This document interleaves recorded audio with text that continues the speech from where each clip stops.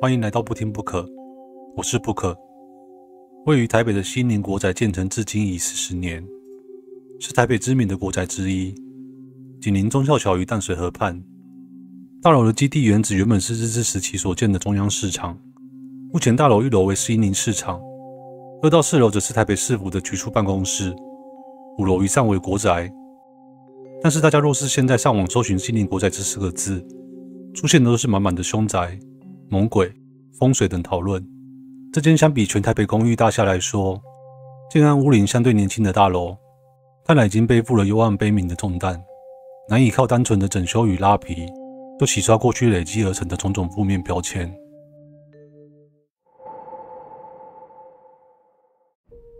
一九八二年落成的西宁国宅，是台北市府出租国宅，全栋建物共十六层楼，分为 A、B 两栋。两栋间由数条两公尺宽狭长走道组成。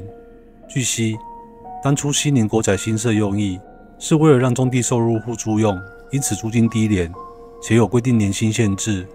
由于居民社经地位较处弱势，且楼内户数极多，又是住商混合型建筑，住入人口甚为复杂，难以管理。就在1987年，西宁国宅 B 栋的两栋电梯，在垂直往上的过程中，不知为何原因发生故障。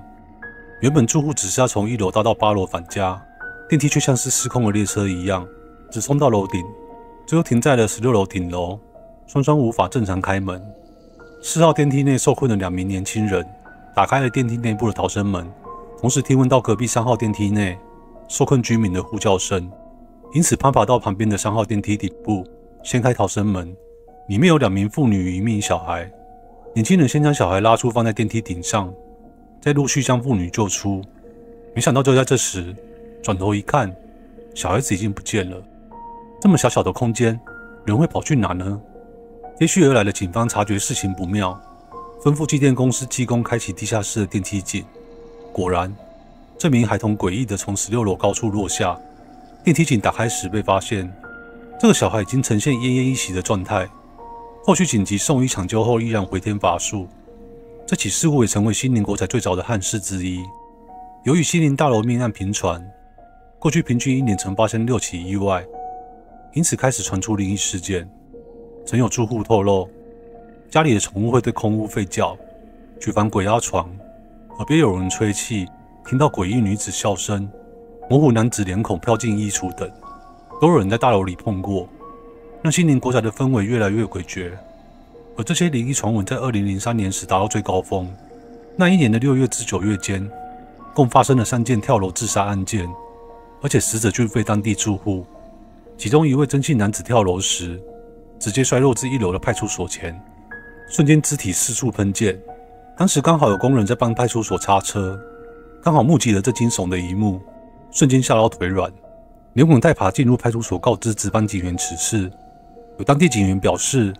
曾与大楼管理员一起合力救下一名想要跳楼的林姓年轻女子。事后，警察问女子为何轻生，没想到对方竟回答：“她原本陪男朋友在西门町逛街买东西，但就在男友试穿鞋子的空档，她不知道为何被一股莫名力量牵引，然后就不知不觉走到西宁国宅，搭乘电梯上顶楼。当爬上顶楼围墙往下望时，她却称：‘我往下看，好多人向我招手。’”要我赶快下去。说完后，连承办警员也惊吓得说不出话来，直觉事情已经超乎想象。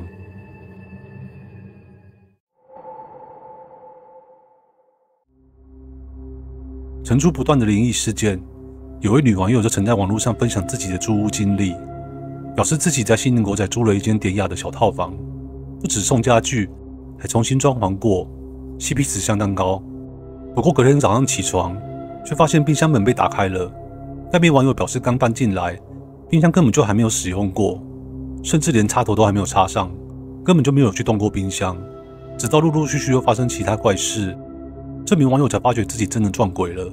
他还联络房东要退租，没想到房东还回说：“你还活着，没有生病，就算运气不错了。”房东的话让人听得毛骨悚然。另一个网友小伟则是分享说，他有个朋友，我们通称 A 女。以前原本是住在西宁国宅，但住了一阵之后，就翘家再也没有回去住了。这个女生 A 女是我军中学长的朋友，是某次在 KTV 唱歌认识的。那时认识 A 女的时候，她就已经是翘家的状态了。我们一起唱歌的时候，她的妈妈还跑来包厢问她女儿有没有在这边。A 女还吓到躲在厕所里。后来当兵期间几次放假的空档，学长都有约她一起出来唱歌，因此后续都还有跟 A 女见过几次面。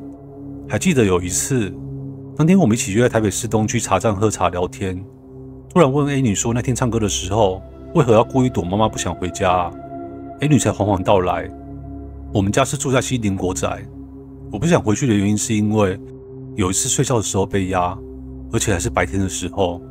被压的当下有听到低沉沙哑声，但看不到人。常常晚上回家坐电梯时，电梯会莫名爬升到阴暗无人的顶楼，然后电梯门一打开，看到都是一片漆黑，一个人影都没有。重点是要关电梯门还关不起来。当下我真的是快吓死了。还有家里水龙头或电视时常会自动打开，在家里时常会有种被监视的感觉。我们家的亲戚有两个住在这里，一个是跳楼过世，另一个是精神分裂。所以我根本就不想再回去那可怕的家了。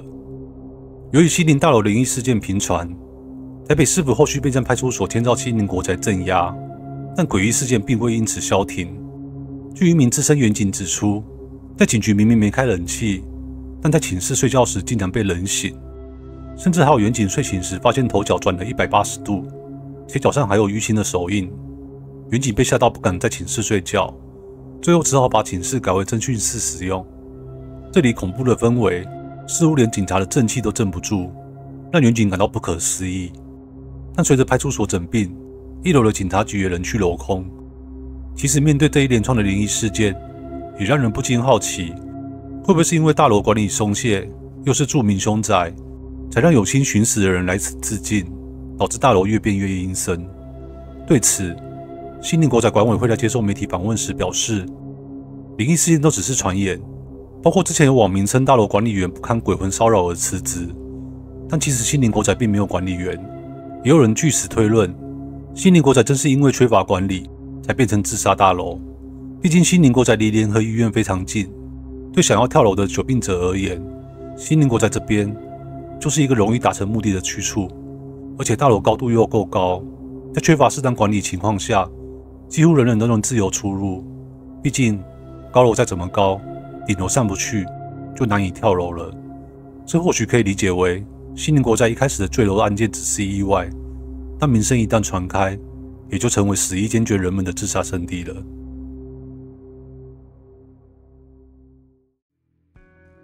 西宁国宅常有风水不好、凶宅的说法，很多的灵异节目也以此地为看看目击鬼怪幽灵的拍摄地。但从以前的历史来看，我们可以发现，几乎没有命案是发生在住家内的。而且主角多半是外地人远道而来，即便是住户发生不幸，原因也多半来自公安意外。这样看来，西宁国仔诸多的命案，真的是鬼怪幽灵或风水不好而导致的吗？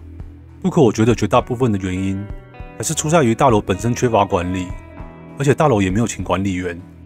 国仔一直以来都是住户们自发的守望相助队在巡逻，但是面对国仔本身内部设计，每一层楼都很错综复杂。光线阴暗，出入口众多。